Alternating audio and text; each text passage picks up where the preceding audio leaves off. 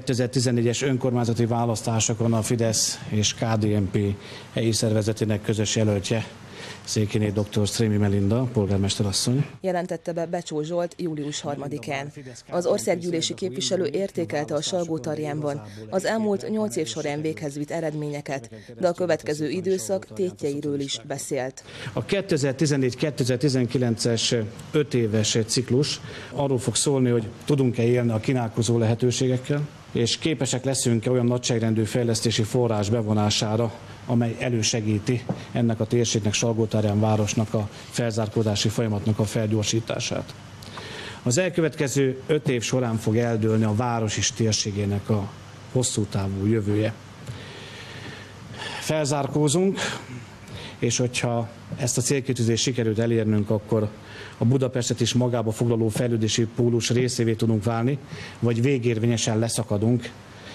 Talán azt is mondhatnám, hogy ez itt a kérdés. Becsó Zsolt azt is kiemelte. Jelöltjük 8 éve aktív résztvevője a helyi közéletnek. Széles körű társadalmi támogatást élvez. Két ciklus óta a város polgármestere. Egy cikluson keresztül a magyar parlamentben is képviselhette a salgótarjániakat.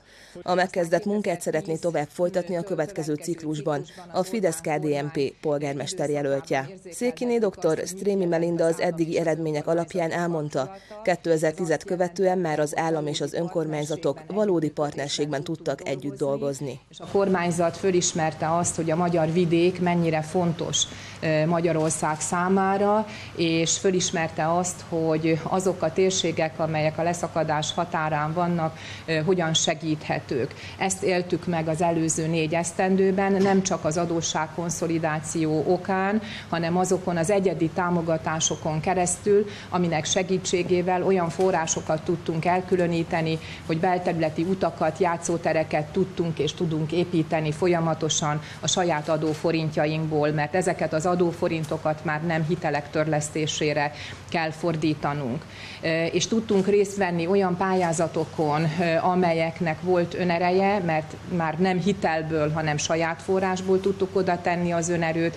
Részt tudtunk venni olyan társulásokban, mint amilyen a hulladékrekultivációs vagy a hulladékgazdálkodási társulás, több tucat más megyei önkormányzattal közösen, akár úgy is, mint a hulladékgazdálkodási társulásban, hogy az önerőnek a nagy részét Salgótarján vállalta magára. Tehettük, megtehettük ezt, mert olyan gazdálkodással és olyan kormányzati támogatással tudtunk előre lépni, amely eredményezte azt, hogy ezek a források rendelkezésre álltak. A folytatás Salgótarján számára is adott, hangsúlyozta Székiné dr. Strémi Melinda, hiszen nem csak az elkövetkező öt, de akár tíz esztendőre is érvényes programot alakítottak már ki a helyi szervezetekkel együttműködve, a helyi igények felmérésével. A Salgótarjánt érintő program legfontosabb eleme a munkahelyteremtés és az ipar fejlesztése, támaszkodva az itt működő vállalkozásokra, kiemelt figyelmet fordítva a járműiparra és az üveggyártásra.